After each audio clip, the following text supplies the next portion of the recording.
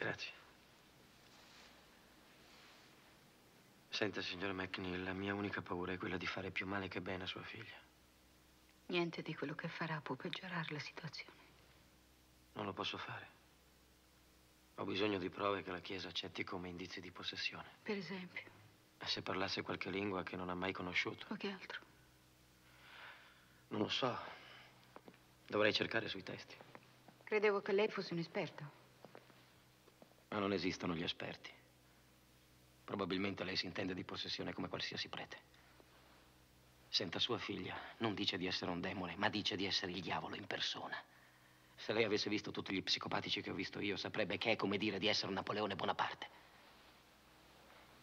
Lei vuol sapere cosa penso sia meglio fare per sua figlia. Sei mesi in osservazione nel miglior ospedale che può trovare. Se io vedessi un suo doppione, stesso viso, stessa voce, tutto quanto, sentirei che non è Reagan. Lo sentirei dentro. E posso dirle che quella cosa là di sopra non è mia figlia. Adesso lei deve dirmi che sa ed è convinto che mia figlia ha soltanto dei disturbi mentali e basta. Deve dirmi che è convinto che un esorcismo non le servirebbe a niente. Su, mi dica questo!